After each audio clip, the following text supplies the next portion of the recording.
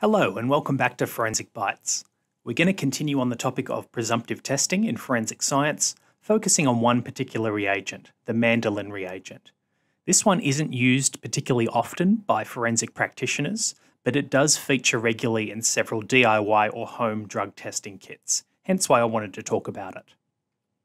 So I was inspired to talk about this when I came across this news article outlining that the Student Union of Newcastle University was handing out drug testing kits to help their students assess whether or not drugs that they may have had in their possession were genuine or not.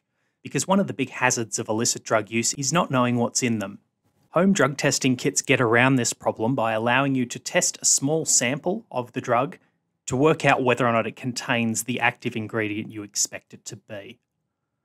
The article's a little bit older, from 2016, and I'm not so naive as to think that none of my university students would be taking illicit drugs.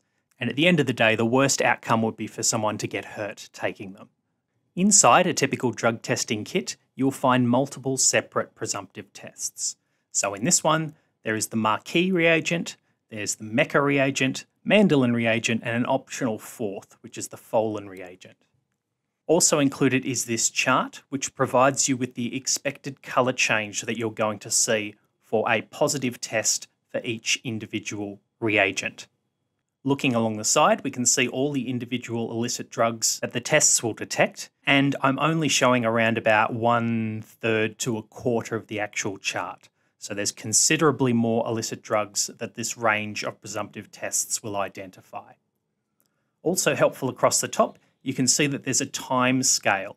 So we have at time equals zero, the initial color that you're going to see, and then you'll see how that color is going to evolve over 20 seconds. So most of these presumptive tests are relatively quick.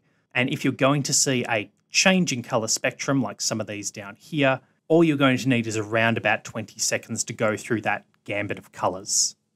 Now, despite there being four presumptive tests given, the first three you are required to do, whereas the last one is only suitable for a select number of the illicit drugs. So that's why the last one is optional. It will only give you valid information for certain types of illicit drug. And today we're going to just be talking about Mandelin reagent. We'll follow up with some of these other reagents on another day.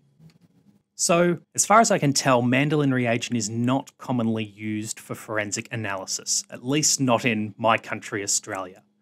There is, however, some evidence that it is used elsewhere. So, if we have a look over here, we have a pre made up field test for Mandelin reagent, and the website for that comes from the Netherlands. So perhaps in Europe they are in fact using the Mandelin reagent in the field. The reagent is one of the more common reagents found in commercially available home testing kits, though. Given it's convenient to prepare, it is often used as well for teaching forensic science at universities, and we use it in our undergraduate laboratory classes here at Griffith University. As a test, it's rather non specific though, so very similar to Mayer's reagent that we talked about earlier. You make it by dissolving sodium metavanadate in concentrated sulfuric acid. So, looking up here, sodium metavanadate is an insoluble coordination polymer. What we need is to get that into solution. So, the first thing we do is we add the sodium metavanadate to a strong aqueous acid, and in this case, it's sulfuric acid. What that does is it breaks these bonds and liberates these units of orthovanadic acid and this is soluble in solution. So this will give you a yellowy solution, and that's what we are going to use for our presumptive test. The active component in Mandelin reagent is vanadium metal. Vanadium is a transition metal, which means that it is predisposed to forming coloured complexes. And you can think about it in terms of red blood cells. Blood is red because it contains iron. Iron's a transition metal, and it's what's generating the colour. So the color that vanadium creates depends on what's surrounding that metal. And if we look here at the orthovanadic acid, the vanadium is surrounded by oxygen atoms. If we can change that by the vanadium binding to one of our illicit drug compounds, a unique colour may form. Looking now at the different colours of vanadium, we can see that it has quite a diverse colour spectrum.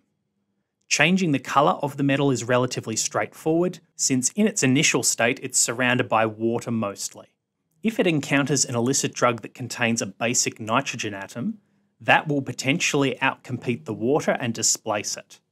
Depending on the strength and nature of this new vanadium to nitrogen atom binding, different colours will be generated. So now on the left, I'm showing the chemical structures of five different illicit drugs, and I've highlighted in pink the nitrogen atom that can be used to coordinate to the vanadium. If we have a look over here at the colour responses, we can see that MDMA and amphetamine shown here give you the most dramatic colour changes.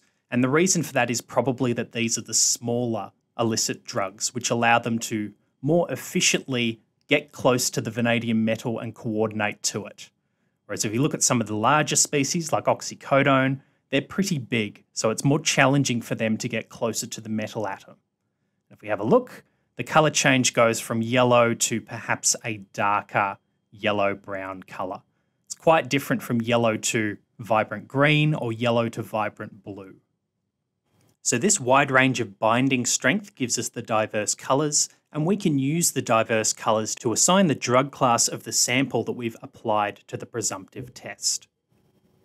Now, like Mayer's reagent, any alkaloid chemicals are going to bind to vanadium too, since the definition of an alkaloid is just a small molecule that contains a nitrogen atom in it. These will also generate colour responses. Worse than that, there are other common visually drug like materials. So, if we think about our white powders, we have salt, sugar, aspirin. Most of the white powders that you can picture that are legal, they may also give you a colour response by Mandelin reagent. For this reason, care needs to be taken when interpreting the results of the presumptive test, and it's why there are three presumptive tests included in the home drug testing kit. If all three separate tests provide you results that match to a drug, the odds are good that that's what the drug could be. If only one of the presumptive tests match the illicit drug, well, more than likely it's a false positive and not the drug in the sample. So to conclude, Mandelin reagent is another presumptive test with broad reactivity across several drug classes, but a high number of false positives.